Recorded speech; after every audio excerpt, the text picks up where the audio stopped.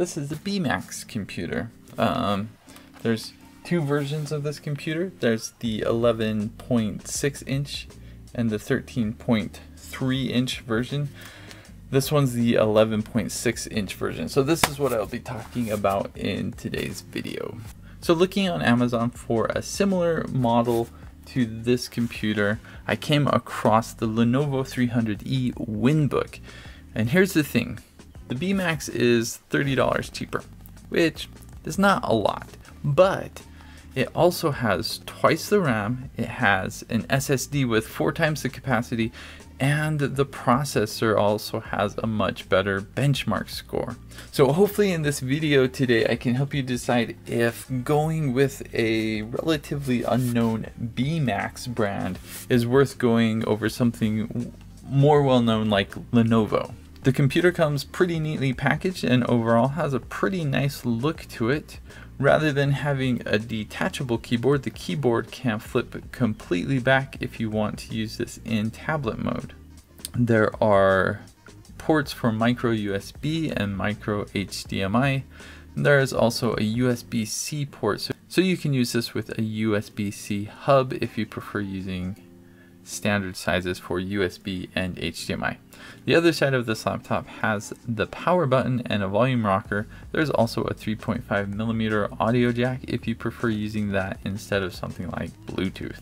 This computer comes with Windows 10 pre-installed and when I use this computer, I almost always use it with a USB-C hub so that I can use an external monitor and mouse. The trackpad has two levels of clicks, but I find it requires a good amount of force to press it. And despite its small size with the keyboard, I find it fairly easy and comfortable to type on. So for a budget computer, I find this to be pretty responsive and fast for basic tasks. So I actually tried a few different games on this and I found that it performs great for really basic 3D games, but for something more resource intensive like Super Tux Kart, the performance was really quite poor and choppy. So while this might work for some basic games, it's definitely not a machine for most modern games. This is not going to be your new gaming laptop anytime soon. I'm actually kind of a fan of the 11.6 inch size. It works really well as a tablet and the computer switches really easily back and forth between tablet and normal mode. The trackpad allows for multi-finger gestures and actually works quite well. So what do I like about this BMax computer? For one, for the price, the specs are actually really quite impressive. And really the overall performance of this computer is perfectly fine for basic tasks like browsing the web or watching YouTube videos or other multimedia.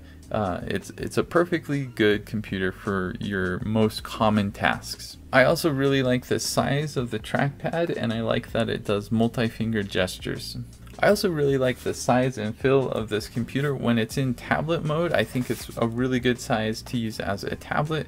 And when it's in computer mode, it is small, but it's big enough that I can use it normally. This is really nice for when you're watching TV or something, you can just have a really small computer to work on to do some basic things if you need to. Okay, so what do I not like about this computer?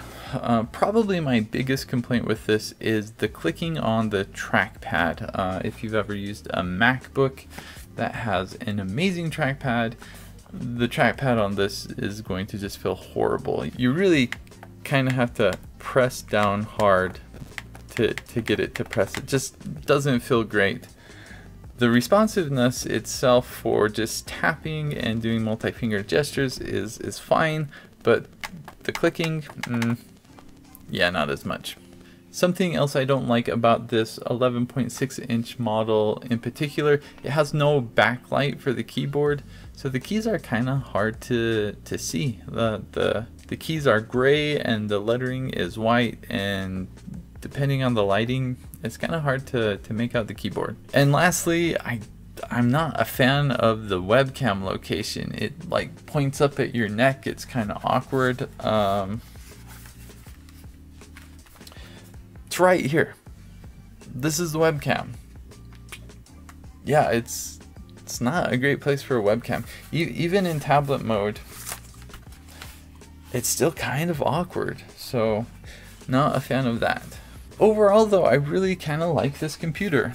Would I recommend it over something like say the Lenovo 300E Winbook? Yeah, sure, I, I actually would. I, I, think this is a good computer. I don't care a whole lot for name brand. Uh, the biggest thing you get with a name brand like Lenovo is it's a lot easier to find support. If you feel like you might not need support for a computer though, then going with something like this I think is totally fine. The other nice thing about name brand is being able to find accessories or chargers or something like that. But because this charges via USB-C, you don't really have to worry about that. You can find a USB-C charger just about anywhere. So you're good to go with this. Well, that's it. I hope that helped you get some more information about this fancy dancy BMax computer. If you have any questions about it, feel free to write a comment. I will try to answer it below. Thanks.